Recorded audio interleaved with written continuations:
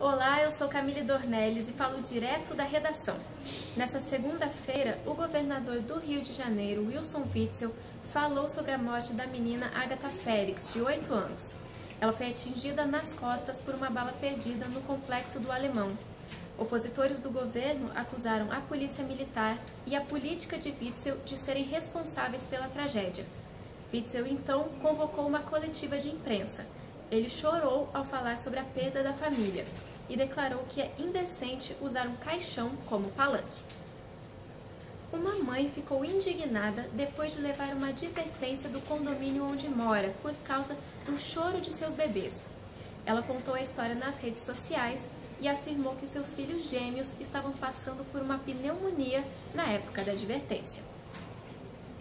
A jornalista Isabela Camargo voltou à Rede Globo nesta segunda-feira.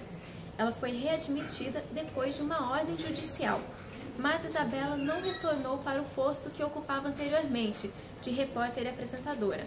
Ela agora é uma redatora do portal G1. E o cantor Wesley Safadão fez uma mega festa de aniversário para o seu filho Dom, que completou um ano.